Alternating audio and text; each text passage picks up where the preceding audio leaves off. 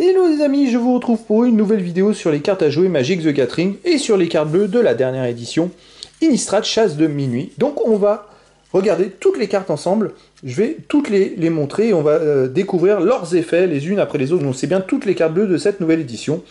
Alors la première, c'est le Pêcheur à l'hameçon qui a un coût de 2 terrains dont un bleu. Elle a 2 d'attaque et 1 de vie. Et ensuite Perturbation pour 2 terrains dont un bleu. Vous pouvez lancer cette carte depuis votre cimetière transformée pour son coût de Perturbation. Et la transformation, hop, c'est le vagabond en crochet qui a 1 d'attaque et 2 de vie et elle a vol. Et si le vagabond en crochet devait être mis dans un cimetière d'où qu'il vienne, exilez-le à la place. On continue la deuxième carte. Collecteur de composantes qui a un coût de 3 terrains dont un bleu. Elle a 1 d'attaque et 4 de vie. Si ce n'est ni le jour, ni la nuit, on passe au jour au moment où le collecteur de composantes arrive sur le champ de bataille. chaque fois qu'on passe du jour à la nuit ou de la nuit au jour, vous pouvez engager ou dégager un permanent non terrain ciblé. Alors c'est vrai que euh, j'avais pas forcément évoqué cette partie-là, et je me disais que passer du jour à la nuit, enfin de la nuit, euh, la nuit au jour, c'était pas forcément intéressant pour ses propres cartes. Mais en même temps, je me dis que vous pouvez peut-être de cette façon-là, donc c'est à tester, contrer un adversaire, et lui, s'il a des cartes en, en nuit, et ben lui ramener tout en jour. Et là, vous allez vraiment, vraiment contrecarrer euh, la partie. Donc ces cartes peuvent être quand même intéressantes. Euh, ça dépend en fait de la stratégie. Après, moi, je vous invite à les tester dans ligne Magic de Gathering Arena. C'est top parce que tout est, euh, tout est pré-enregistré. Enfin, tout est bien, bien ficelé. Donc ça permet de tester toutes les composantes des cartes. Scrutez, coup de 1 terrain bleu. Regardez la carte du dessus de votre bibliothèque. Vous pouvez mettre cette carte dans votre cimetière. Piochez une carte. Elle coûte pas cher, mais euh, dans un deck, c'est pas forcément intéressant. Naufragé Cupid qui a un coût de 2 terrains, dont un bleu. Elle a 1 d'attaque et 3 de vie quand le naufragé Cupid meurt. Meulez 3 cartes. C'est-à-dire que vous mettez les 3 cartes du dessus de votre bibliothèque dans vos cimetières.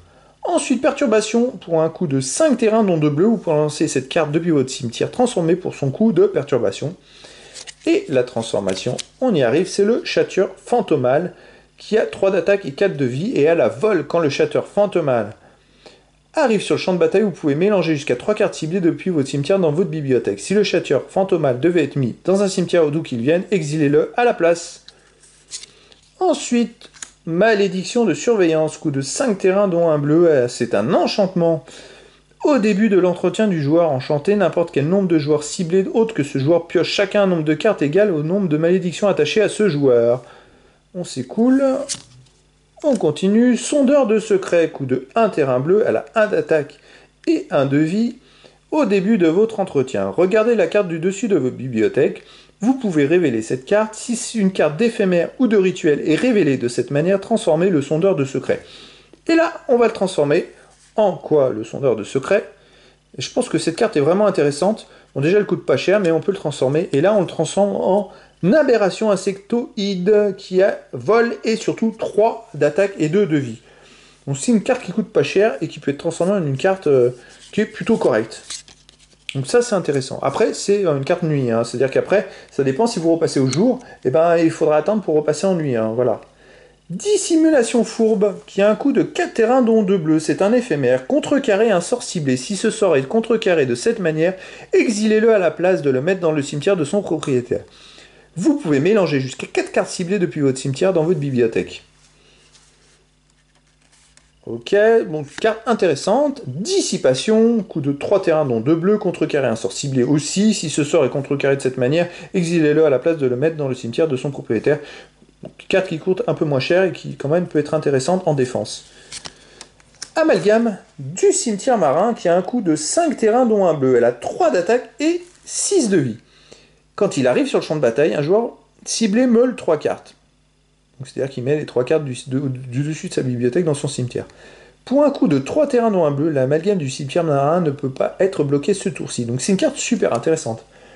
Après, bon, elle fera perdre 3 points de vie, euh, puisqu'elle a 3 d'attaque, si elle ne peut pas être bloquée. Euh, mais après, euh, si vous attaquez, le problème c'est que vous l'aurez pas en défense ce tour d'après. A voir, mais c'est quand même une carte qui me paraît intéressante. Espoir volatilisé, un coup de 1 terrain bleu renvoyer une créature ciblée dans la main de son propriétaire. Si sa valeur de mana est inférieure ou égale à 1, à 3, pardon, regarde 1. Regardez la carte du dessus de votre bibliothèque, vous pouvez la mettre au-dessous de votre bibliothèque. On continue, Abomination, rapace, coup de 3 terrains, non 1 bleu, elle a 2 d'attaque et 2 de vie. Et elle a vol quand l'abomination rapace arrive sur le champ de bataille, crée un jeton de créature de 2 noirs zombies avec la décomposition. Donc oui, c'est un jeton qui peut pas bloquer, quand il attaque, sacrifiez-le à la fin du combat. Donc c'est un jeton de 2 qui va euh, que vous allez utiliser qu'une seule fois en attaque, parce que comme vous pouvez pas l'utiliser en défense, il vous servira pas à grand chose, et en attaque, eh ben, euh, il n'y a qu'une utilité, parce qu'une fois que vous l'avez utilisé, imaginons que l'adversaire souhaite ne pas le bloquer, vous allez toucher le personnage adverse, vous allez faire perdre 2 points de vie, mais après votre jeton, il meurt. Il est décomposé, donc en fait, vous pouvez l'utiliser qu'une fois. Ensuite, Sage du Firmament qui a un coût de 4 terrains dont un bleu, elle a 2 d'attaque et 3 de vie.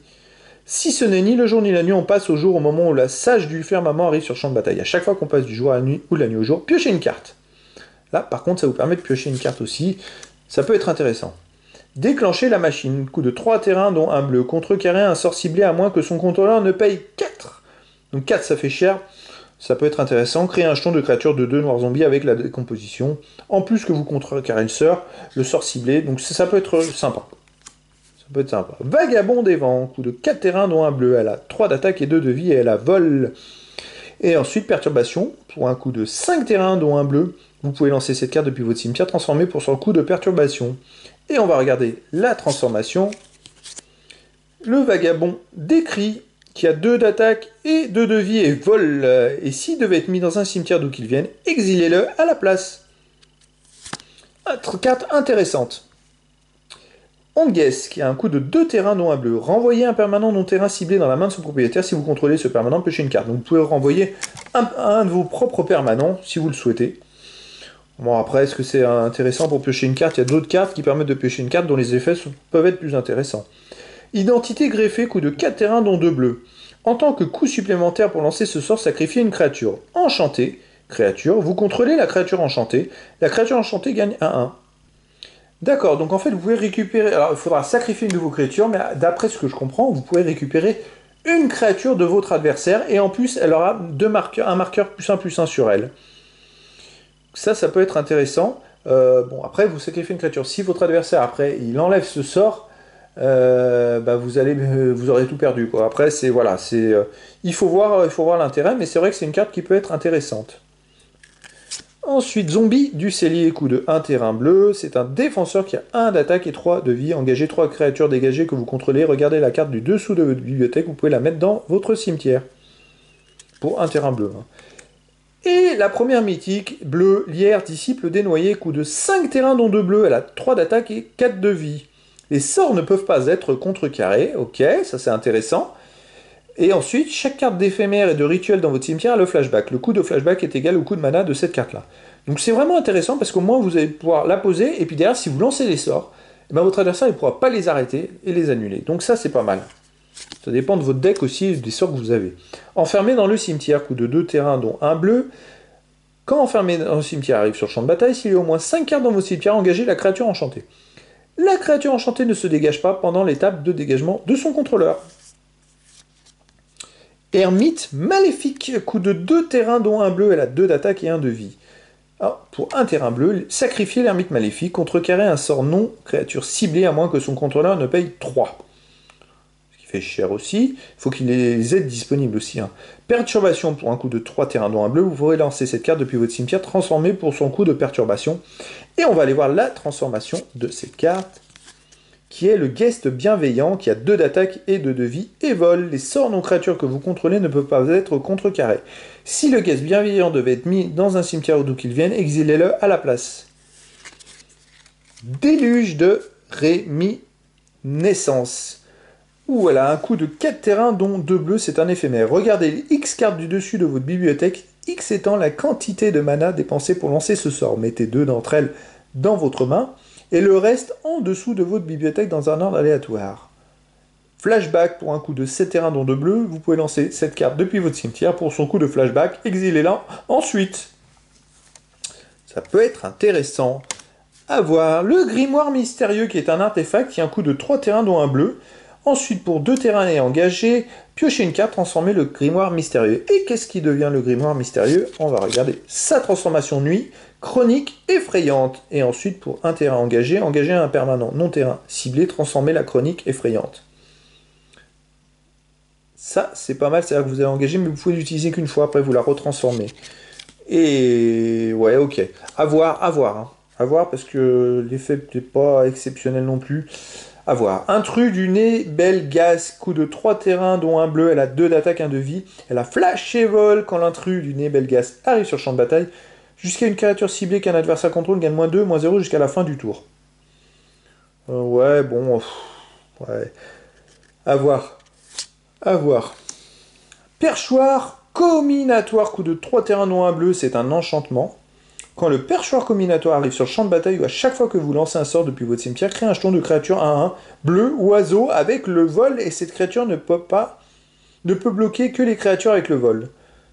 Ok, ça peut être pas mal quand même. Hein. Euh, euh, ça, ça peut être pas mal parce qu'à chaque fois qu'on lance. Alors, si on a beaucoup de sorts, c'est vrai que ça permettrait de créer pas mal de petits jetons qu'on vole. Collectionneur d'organes. Coup de 4 terrains dont un bleu, la 3 d'attaque et 2 de vie. Quand le collectionneur d'organes arrive sur le champ de bataille, regardez les 3 cartes du dessus de votre bibliothèque, puis mettez l'une d'entre elles dans votre main et le reste dans votre cimetière. Regard fantasmagorique. Qui a un coup de 1 terrain bleu, c'est un éphémère. Regardez les trois cartes du dessus de votre bibliothèque, mettez n'importe quel nombre d'entre elles dans votre cimetière et remettez le nez au-dessus de, de votre bibliothèque, dans l'ordre de votre choix. Flashback, pour deux terrains dont un bleu, vous pouvez lancer cette carte depuis votre cimetière pour son coup de flashback et exilez-la ensuite. Archiviste dépassé, qui a un coup de 3 terrains dont un bleu, elle a 3 d'attaque et 2 de vie. Quand l'archiviste dépassé arrive sur le champ de bataille, piochez une carte, puis défaussez-vous d'une carte. Ensuite, perturbation pour un coup de 4 terrains dont un bleu, vous pouvez lancer cette carte depuis votre cimetière transformée pour son coup de perturbation. Et là, qu'est-ce que c'est que la transformation? Et cette carte devient lenteur des archives, qui a 2 d'attaque, 1 de vie et vole. Comme pas mal de cartes qu'on vole. Hein. À chaque fois que le lenteur des archives attaque, piochez une carte, puis défacez-vous d'une carte. Si le lenteur des archives devait être mis dans un cimetière, d'où qu'il vienne, exilez-le à la place. Guest Patricien, coup de 3 terrains dont un bleu. Elle a 2 d'attaque et 2 de vie. Et elle a vol les deux autres, les autres esprits que vous contrôlez gagnent plus 1 plus 1. Les sorts que vous lancez depuis votre cimetière coûtent 1 terrain de moins à lancer. Carrosse fantomatique. Coup de 6 terrains dont 2 bleus, elle a 4 de vie. Et a 4 d'attaque et 4 de vie. Et elle a vol. Elle coûte 6 terrains quand même. Hein. Quand le carrosse fantomatique arrive sur le champ de bataille, vous pouvez chercher dans votre cimetière une carte avec le flashback ou la perturbation, la mettre dans votre cimetière, puis mélanger. Elle coûte cher quand même, hein, pour ça. Cher, c'est cher, c'est cher. Une mythique raccommodeur de Fantogre pour 3 terrains dont un bleu, la 2 d'attaque et 3 de vie. Ah, oula, c'est intéressant. À chaque fois que vous lancez un sort d'éphémère ou de rituel, créez un jeton de créature de 2 noirs zombies avec la décomposition. Et au début de votre entretien, si vous contrôlez au moins 3 jetons de créatures, vous pouvez transformer le raccommodeur de Fantogre. D'accord, donc ça, ça devient intéressant. Alors, en quoi il se transforme? Il se transforme en usine de Fantogre. Ah, et c'est un artefact. Les jetons de créatures que vous contrôlez perdent toutes leurs capacités et ont une force et une endurance de base de 3-3.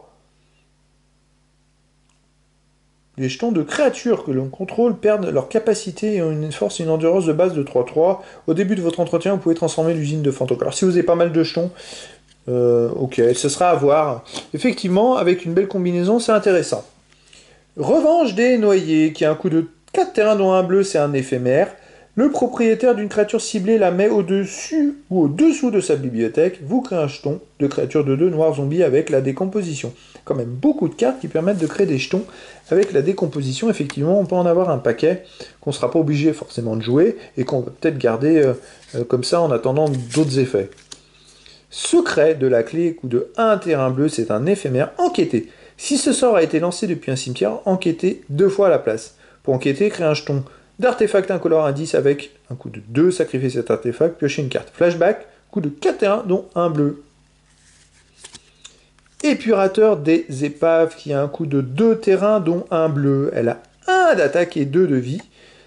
Quand les épurateurs des épaves arrivent sur le champ de bataille, piochez une carte puis défaussez-vous de cette carte. À chaque fois que vous défaussez d'une carte d'esprit ou d'une carte avec la perturbation, mettez un marqueur plus 1 plus 1 sur les épurateurs des épaves. Donc à chaque fois qu'il arrive sur le champ de bataille, on pioche une carte, défausse de cette carte, ok. Euh, ok, ok, bon.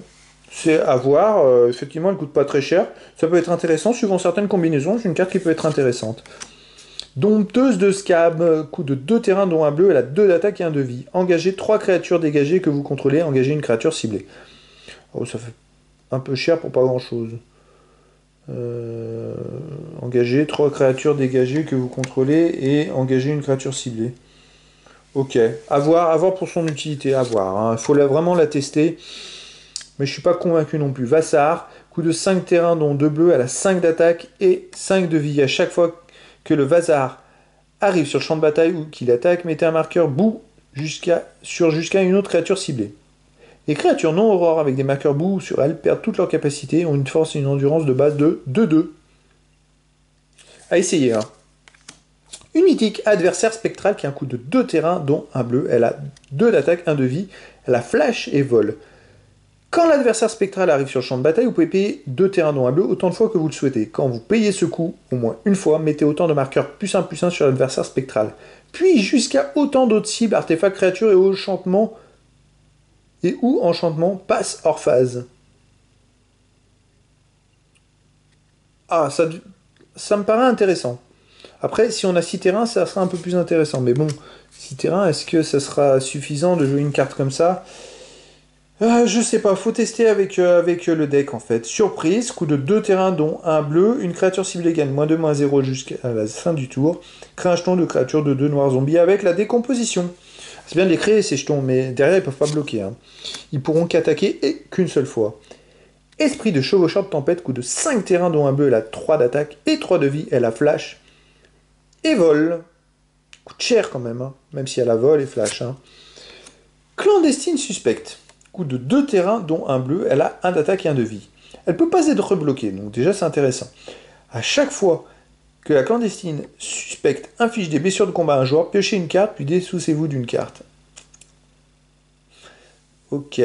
Durne, si un joueur ne lance pas de sort pendant son propre tour, on passe à la nuit au prochain tour. Alors on va, voir l'effet nuit. On va voir si c'est intéressant. Loup-garou de mer. 2 d'attaque et 1 de vie. Le loup-garou de mer ne peut pas être bloqué. Et à chaque fois que le loup-garou de mer inflige des blessures de combat à un joueur, vous piochez une carte. À ce coup-ci, on pioche la carte, mais on ne se défausse pas d'une carte. Euh, nocturne, si un joueur lance au moins deux sorts pendant son propre tour, on passe au jour au prochain tour. Ok, cette carte elle est quand même intéressante. Euh, Là, on doit se défausser d'une carte en jour et en nuit. On, va piocher, mais on va pas se défausser d'une carte. Surtout, elle peut pas être bloquée, la créature. C'est quand même une carte intéressante. Triskadei, Kafil, coup de 2 terrains dont un bleu, elle a 1 d'attaque et 3 de vie. Il n'y a pas de limite au nombre de cartes dans votre main. Au début de votre entretien, si vous avez exactement 13 cartes dans votre main, vous gagnez la partie. Pour un coup de 4 terrains dont un bleu, vous piochez une carte. Ah, ça devient intéressant ça. Après, euh, c'est un gros risque, les amis, d'arriver à 13 cartes. Euh, il va falloir voir parce qu'il va falloir piocher beaucoup quand même pour arriver à 13 cartes dans votre main. Euh, et puis si votre adversaire vous attaque, je pense que vous ne tiendrez pas plusieurs tours. Observateur au regard fixe, coûte de 2 terrains dont un bleu, la 2 d'attaque et 1 de vie. Engagé, ajouter un terrain bleu. Ne dépenser ce mana que pour payer un coup de perturbation ou lancer un sort d'éphémère ou de rituel. Et Vivi Section, qui a un coup de 4 terrains dont un bleu. C'est un rituel en tant que coût supplémentaire pour lancer ce sort, sacrifiez une créature, piochez trois cartes. Et ben voilà les amis, c'était la présentation de toutes les cartes bleues de la nouvelle édition Innistrad Chasse de minuit. Voilà, je vous donne maintenant rendez-vous ben, pour une prochaine vidéo de présentation de cartes ou d'autres vidéos que vous trouvez sur ma chaîne YouTube. A très bientôt les amis